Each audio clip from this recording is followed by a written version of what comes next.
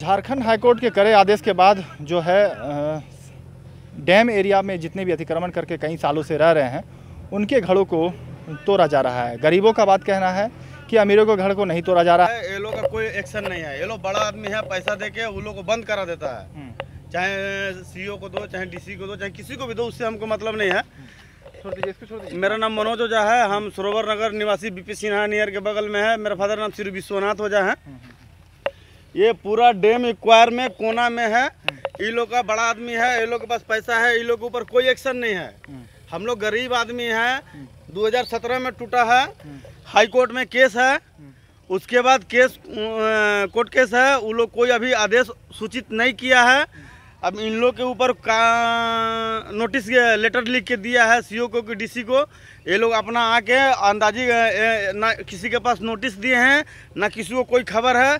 CO कल आए हैं, इक्कीस तारीख को शाम में अनाउंसमेंट करवाए हैं कि आप लोग अपना सामान खाली कर लीजिए और हम कल तोड़ेंगे। लोगों ने विरोध करते हुए पुलिस और प्रशासन की टीम को उनके ज़मीन के कागजात दिखाए। उन्होंने कहा कि इन सभी घरों को होल्डर टैक्स रसीद आदि काटे जा रहे हैं।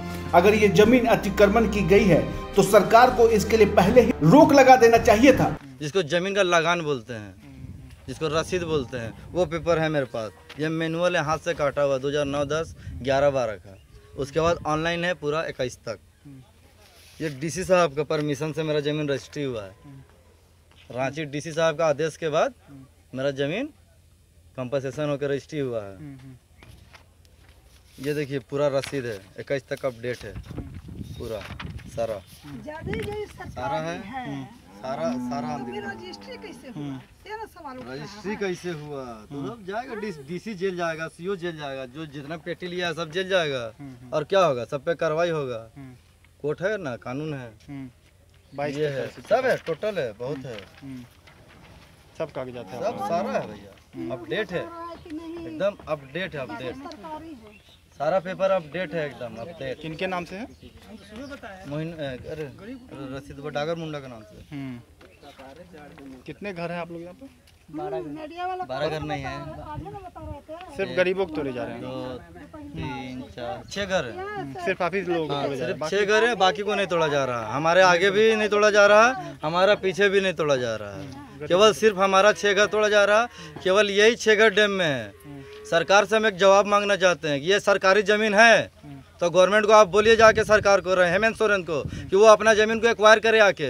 वो कंबल ओढ़ के सोया हुआ क्यों है? जब मन करे तो बुलडोजर चलवा देगा किसी पे भी।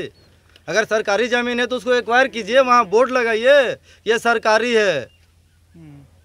अगर आप सरकारी ज़मीन पे भी 10 से 15 साल रह लेते हैं ना तो सरकार का भी पावर नहीं है कि उसको आपको खाली करवा देगा। सरकार कहती है कि हमें गरीबों को घर देने की बात कहती है, लेकिन सरकार की ओर से जो है कहीं ना कहीं या गरीबों के लिए पहले बसाने की बात करनी चाहिए थी, फिर उजारने की बात होती तो सही रहता। अपने घरों को टूटता देख लोगों के चेहरों पर बेबसी और साफ़ झलक रही थी। 10-15 वर्षों से यहाँ पर वो रह रहे हैं। आपस में एक दूसरे को संतावना दे रहे हैं। इसी बीच लंबे समय से वहाँ रह रही पुष्पा देवी का अपने घर को टूटा देख अचानक तबियत बिगड़ गई। यह देख वहाँ लोगों के विरोध ने ज़ोर पकड़ लिया। पुष्पा देवी को हॉस्पिटल ले जाते हुए उन्होंने सीओ और पुलिस सहित अन्य अधिकारियों को बेघर करने की जगह उन्हें सीधे गोली मारने की बात कहने लगे।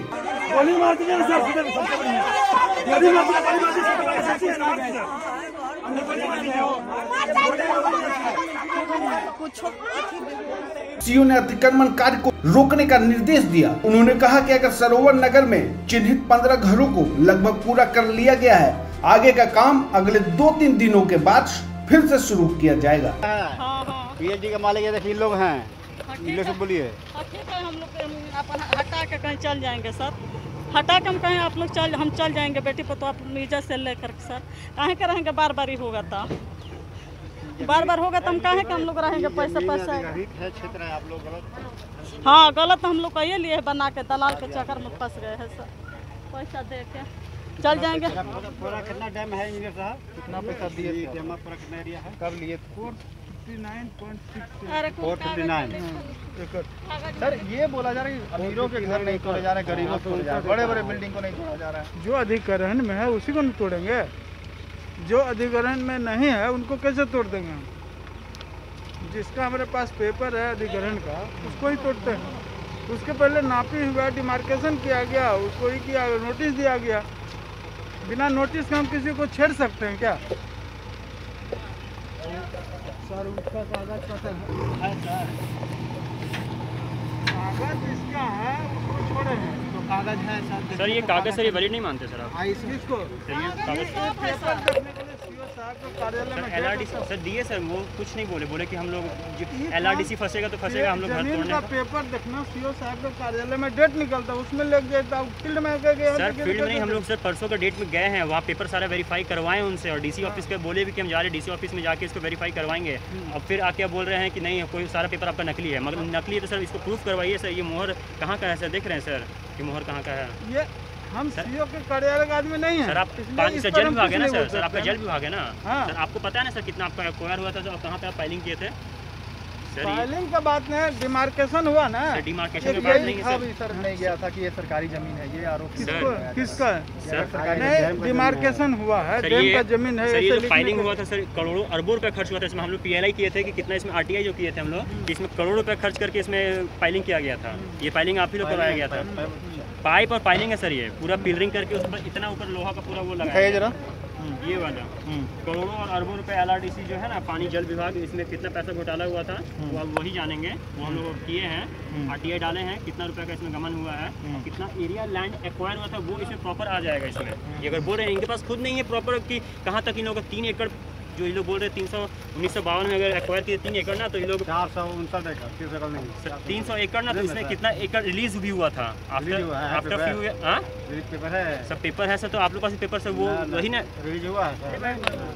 सर ये एक्वायर हो गया उसके बाद फिर किसी को लीज पर नहीं दिया गया। लेकिन अब देखने वाली बात होगी कि ये कागजात जो जितने कागजात गरीबों के पास है यह कितने जायज़ हैं और इस पर क्या कुछ कार्रवाई की जाती है कोर्ट में? क्योंकि इनकी ओर से भी कहा जा रहा है कि हम कोर्ट में जाएँगे और केस करेंगे ऐसे पदाधिकारियों पर जिन्होंने पैसे लेकर हमें दे तो दिया, रह भी रहे थे हम लोग कई सालों से। अगर सरकारी ज़मीन थी तो सरकारी बोर्ड क्यों नहीं लगे गए थे? इतने अचानक से आके क्यों तोड़ा गया? समय क्यों नहीं दिया गया? और अब यह देखने वाली बात होगी कि आखिर इस पर क्या कुछ कार्रवाई कोर्ट की ओर से की जाती है और ये जो मकान इनके तोड़े जा रहे हैं, इनका भरपाई आखिर कौन करता है? लाइव लगातार के लिए रांची से मैं कौशल कुमार। न्यूज़ अपडेट के लिए आप हमारे चैनल को सब्सक्राइब करें। आप हमें फेसबुक और इंस्टाग्राम पर भी फॉलो कर सकते हैं। बने रहे लगातार डॉट इन के साथ।